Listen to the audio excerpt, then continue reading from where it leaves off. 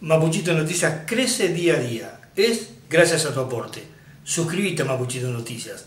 Dale click a la campanita. Efectivamente, eh, ustedes saben que mm, General Roca es el punto por donde pasa la ruta 6. Eh, la ruta 6 que viene desde La Pampa, este, desde la provincia de La Pampa, desde el límite, y continúa hasta el Bolsón. O sea que es una ruta este, medular eh, para la provincia. Bueno, puntualmente eh, el municipio de General Roca eh, ha incorporado un nuevo parque industrial. Este, esto sería en el tramo para nosotros la ruta 6 norte, es decir, el que va desde la ruta 22 hacia el límite con La Pampa que mencionaba anteriormente. Entonces, lo que mm, surge a partir de allí es la necesidad de generar un nuevo acceso a este parque industrial que Roca lo denomina Parque Industrial 2.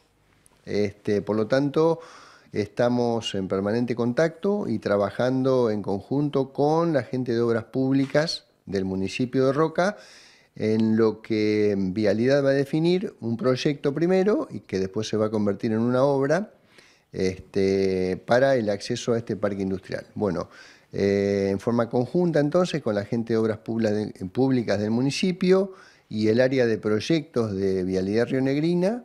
Em, se hicieron ya varias reuniones, eh, asimismo yo estuve reunida también con la intendenta de, General Roca, eh, diciéndole que, bueno, que vamos a colaborar primero con el proyecto y después seguramente la segunda etapa, una vez definido el proyecto, va a ser la obra. Eh, y ya se hicieron tareas de relevamiento, de plan y altimetría, y puntualmente en este momento se está trabajando en lo que es la definición del proyecto este, para convertirlo en un pliego para eh, poder licitar una obra.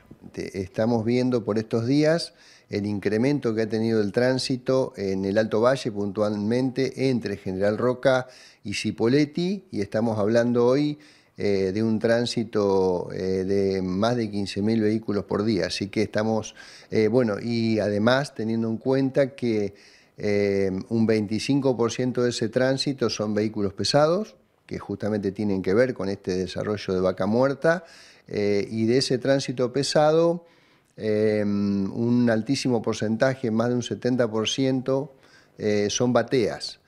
bateas que en muchos casos transportan arena silicia desde las canteras que justamente están al sur de General Roca, o sea, en la margen sur del Río Negro, eh, y que transitan por esta ruta 6 que mencionaba anteriormente, que tiene como novedad eh, la confirmación del gobernador la semana pasada que mm, se va a comenzar la repavimentación de la ruta 6 y de la ruta 8 que comunica el Alto Valle con los Menucos, con la región sur, se va a comenzar antes de fin de año. Así que muy buenas noticias para, para Vialidad, para la provincia, para el gobierno provincial y para mm, el Alto Valle y General Roca puntualmente además de las seis que mencionaba anteriormente, la ruta 65, provincial 65, que desde General Roca hasta Cipoletti, pasando por Fernández Oro, Allen, em, es una ruta provincial pavimentada en la que estamos trabajando hace tiempo, pero hemos eh, puntualizado las tareas y en este momento estamos haciendo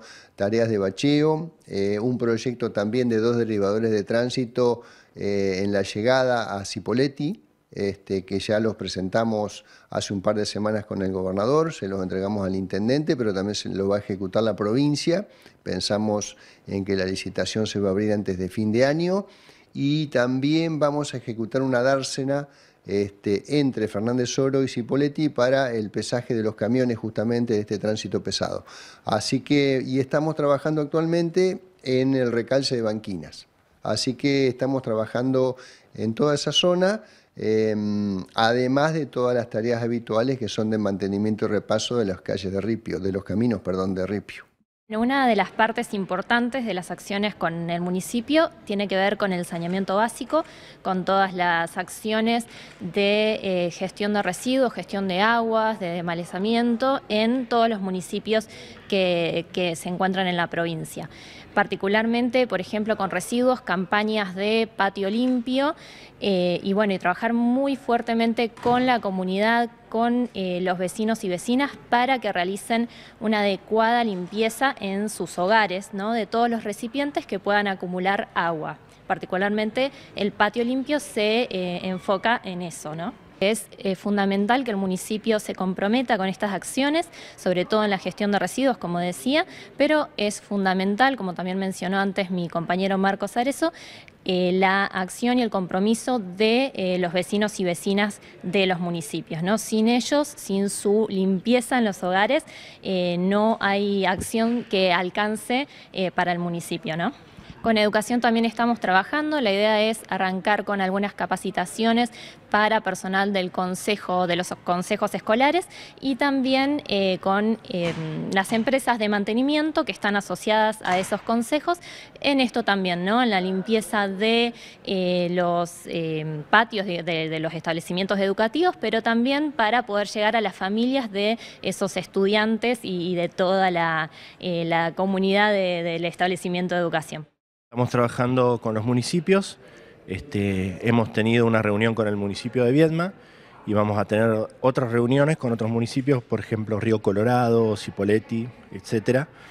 Este, estamos clasificando los municipios o las localidades de acuerdo a la situación este, en tomo epidemiológica, esto es decir, este, ver eh, si está el mosquito vector del dengue y ver si hay casos autóctonos. ¿Sí? que en la provincia todavía no tenemos casos autóctonos, pero tenemos la presencia del mosquito en Río Colorado, Cipolletti y hallazgos este, incidentales en San Antonio.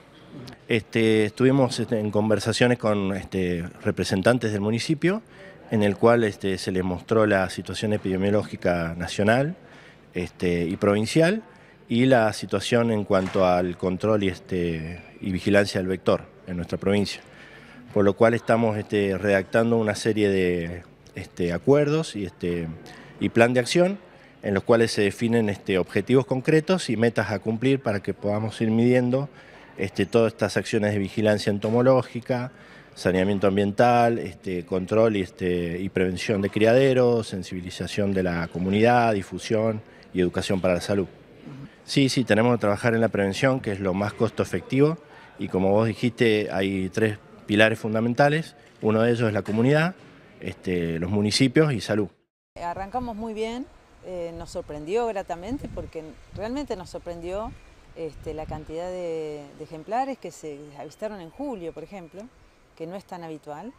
Entonces este, tuvimos mucha afluencia de turismo, por suerte, justo coincidieron las vacaciones de invierno, hicimos unas promociones y bueno, pudimos trabajar muy bien todo el mes de julio y seguimos haciéndolo y siguen estando este, ellas eh, acá, así que este, buen clima, eh, eso atrae mucho turista y, es muy favorable para, toda la villa balnearia. Nosotros hacemos eh, avistaje de fauna marina, obviamente la, la frutilla de la torta es la ballena, ¿no? O sea, es el atractivo fundamental en esta época, así que eh, hacemos salidas de avistamiento de, fauna y por supuesto este, con el objetivo de ver las ballenas.